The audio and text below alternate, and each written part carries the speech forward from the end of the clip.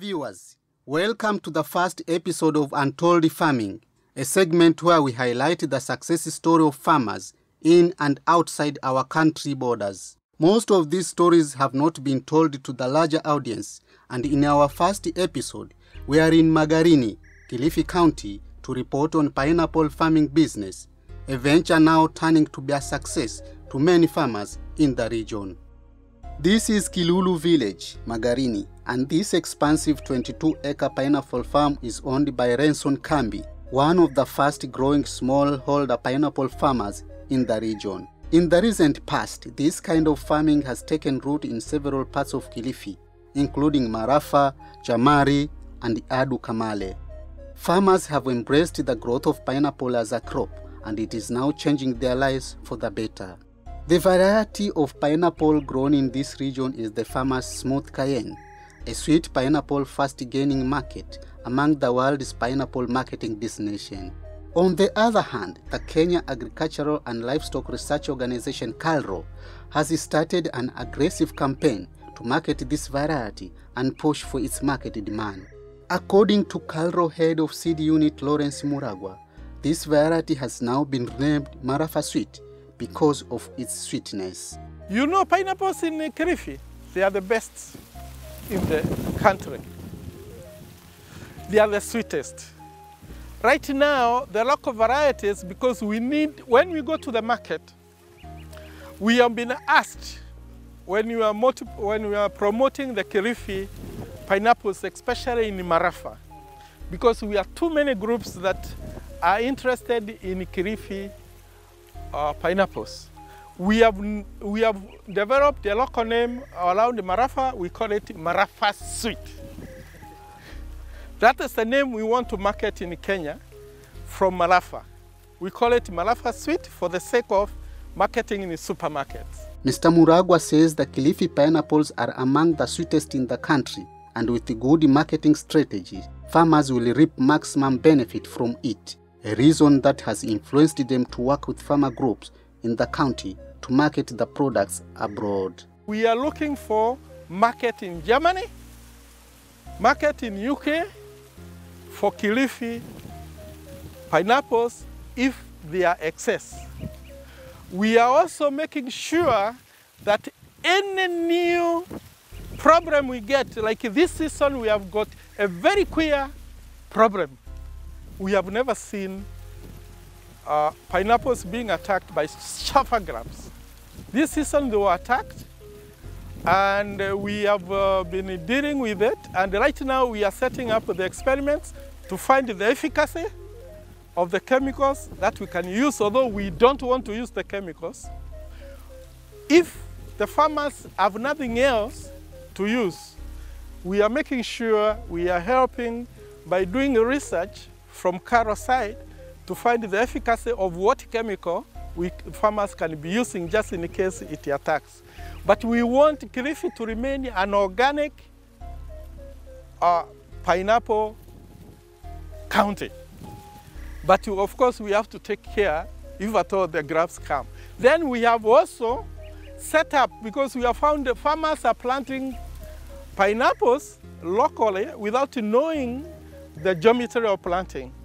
We are at a moment today setting up experiments to determine the best arrangement of pineapples in the farm because they range from 7,000 plants to 10,000 and you know in Thika some, and Kiambu, it is 22,000 uh, plants per hectare, per acre.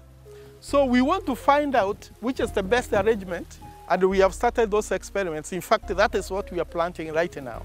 Then we are also planting to see those who are able to apply any manure, how much manure you can put in pineapples so that you can uh, get good pineapples for the size that is wanted by the international markets. We are doing that at our level. Kilifi County Chief Officer in charge of Agriculture and Livestock, Frederick Kaingu, says farmers have increased their acreage under pineapples after discovering that it is among the most beneficial agribusiness ventures in the county. Pineapple growing in uh, Kilifi County has taken shape And the region which is high producing is uh, what we call the Magarini region. And in Magarini region, we have the Marafa ward and also we have the Adu ward. In combining the two, we are talking of about 525 farm families who solely depend on the growth of pineapples, which is this pineapple that is grown. The pineapple that is grown in Kilifi County, especially in the area of Magarini sub-county, is called the smooth cayenne. The smooth cayenne originated in Hawaii, and this is a, a yellow, when it is, it is ripe, it is yellow in color, and usually has high manganese content, and also high sugar content and high vitamin content. So it is one of the best type of variety that Kilifi County is growing, whereby it addresses the issue of food nutrition for, the, for its masses. You realize that uh, this year we are also expecting to have a bumper harvest and we have also been harvesting for the last uh, three months currently and we usually sell this harvest to the small outlets that we have, mostly the major markets that is Malindi market, the Mombasa market and also the towns in Ukunda and also the towns around the coastal region. Mr. Kaingu says that a high-level count engagement is going on between devolved government and farmers in a bid to commercialize the sector. There's a need that we are on a high level in the department so that we can be able to commercialize this sector, whereby we are looking at having what we call contracted farming, whereby the farmers will uh, be profiled and enlisted to make sure that they sell or they only produce for a specific market. When we finish that level, then we go to the second stage whereby we shall do multiplication of the pineapple seedling. So we shall have big nurseries to multiply and also to increase the acreage because if we have little production, then we cannot get the market. So we shall go to the second point whereby we shall have big nurseries for the smooth cayenne. Or if it is a different variety, depending on the market, then we shall have to, to change. When we have the product in mass or when we have the pro pro production which are required, then we shall go to the third step whereby we are looking at having the PPP or the private partnership with a certain investor so that the department here has already secured the farmers, has already protected the farmers with price fluctuation. But here we have the third stage whereby we are bringing an investor who shall be able to make sure that these all production of the pineapples are all taken to a specific place. When we reach that level, then we can now go to the second or the fourth step whereby we are looking at having a factory in place. And for you to have a factory, we are saying we should have all those steps in place and we have already a, we have already a ready market and therefore we shall choose which is the first production line that is to be made for the, for the, for the pineapple. Because currently it is just being sold as whole pineapple and also small, small scale uh, uh, uh, business people, SMEs who make juices. But we are talking of a factory and the factory requires high numbers of production for them, for the factory to, to run. So when you reach at that level whereby we are having enough production, then we can be able to invite the, the, the investor and we can be able to, to make the first production line, which maybe if it is juice making or if it is export market for the whole full fruit, we shall be able to decide when we have those steps in place. According to Mr. Kambi, pineapple has been his farming venture for the past 20 years, bringing in a tidy sum to his pocket. Uh, kusema kweli minanasi iko na faida, minanasi iko na faida, hasa ukizingatia zile kanuni za mnanasi ziko na faida. Hapa nimepanda hizi ni ekari ishirini na mbili. Na nimepanda hizi sacks zisizopungua uh,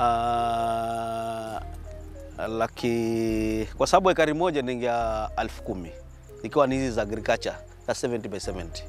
Uh, kwa hivyo unachukua 10000 times 22 unapata hizo sacks ambazo ziko hapa hapa, na kwa kupanda hawa wafanyikazi wanaopanda mche mmoja wanachukua shilingi moja na nusu.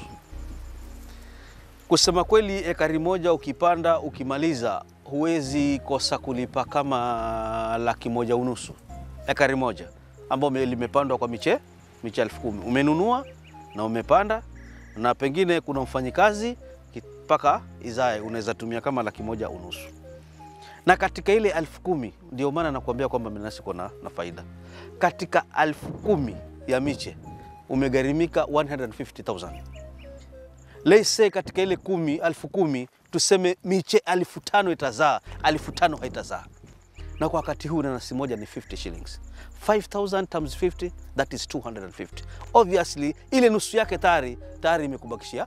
Manake ikiwa gharama, gharama ya ekari kutoka a mpaka waanze kuvuna inakuja 150 umelipa mfanyikazi ume- ume- ume- umenunua mbegu. Sio kwamba mbegu ni yako umenunua mbegu umekatiwa pale pale umepanda. 150 ni gharama hiyo, nanasi unaanza kuvuna. Lakini sasa katika ile miche elfu kumi tuseme imezaa miche elfu tano. Elfu tano haikufanya nini? Haikuzaa. Nanasi moja kwa saa hii ni shilingi hamsini. Hamsini marisha elfu tano that is 250 250 ondoa zile gharama zako za 150 umebakisha 50000 ambao ni faida pending kuna 5000 haijaza ha- hu- hu- hukupiga hesabu. Unaona? Kwa hivyo ina faida hasa ukiwa na famu kubwa namna hii, iko na faida sana, kwa sababu hapa ikifikia wakati wa season naweza toa gari tano kwa siku ama gari tano kwa wiki, ambao gari, gari moja gari moja kama ile ya tani 12 ikitoka hapa haiwezi kosa kuacha 250,000 eh. Kwa hivyo zikitoka kumi, obviously hapo 250 times 10 eh, unapiga mahesabu eh, ujue ni ngapi. Sasa utakuta ina inakusaidia sana ni hii A report done by the Kilifi County Government in 2019 towards commercialization of pineapple has shown that the region has favorable agroecological zones for pineapple production. The report notes that in Magarini sub-county, for example, pineapple production is ranked number one among the major cash crops with a turnover of 32,000 metric tons in 2017. From the report, it is definitely clear that pineapple is currently among the leading cash crop in the sub-county. At an average farm gate price of 30 shillings per kilogram, pineapples realized an estimated turnover of 960 million in 2017 and currently the county produces only 21,000 metric tons of the fruit valued at 646 million before processing. According to the report, over 500 farm families in Magarini drive their livelihood from pineapple farming. It further says that the productivity of the pineapple remains low at 22 tons per hectare in the region against a potential of between 50 to 70 tons per acre. Low total production can be attributed to low use of inputs, especially poor planting material and poor agronomic practices. Farmers have not been able to open up all the arable, arid, and semi-arid lands and available and suitable for pineapple production because of inadequate capital and poverty levels in the areas of Magarini where the crop does best. Poor marketing channels and infrastructure has often led to produce rot on the farms or in open air markets where it is often dumped, the report says. It is our pleasure that you have watched this segment. Subscribe and continue to watch more of our segments as we continue to bring to you the stories of change drawn from farming from different parts of this country and beyond our borders. And this is the Untold Farming segment. I am Kazungu Samuel.